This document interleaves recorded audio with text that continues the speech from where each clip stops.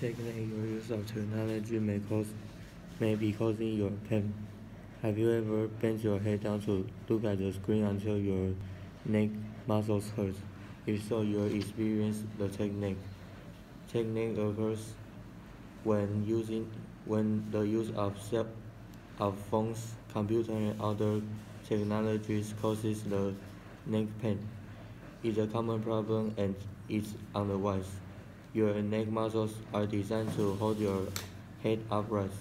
They can also they can also move your head around and even crane it forward for short moments of, for short amount of time. But, bend, but bending your head over for long periods of time can strain your muscles. That can cause them that can cause them pain. In the past, Sore, sore. that can cause them sore. In the past, people spent most of their time to look up, but now people spend Spend most of their time 不是 to look up。Spend 后面只能 bing 哦。Looking up。 In the past, people spent most of their time looking up, but now people spend significant amounts of time to look looking Looking. at looking at their phone.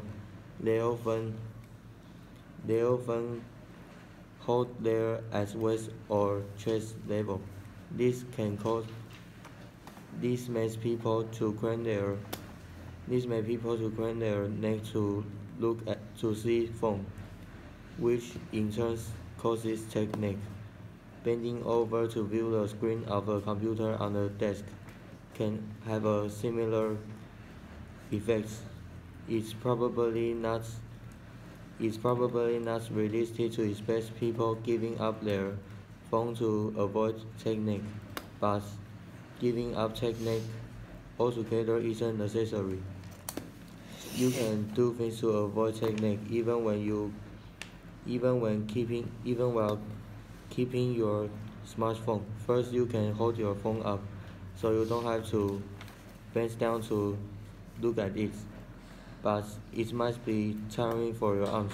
So keep your head straight. So keep your head upright and just and look only with your eyes. Try to sit straight as well.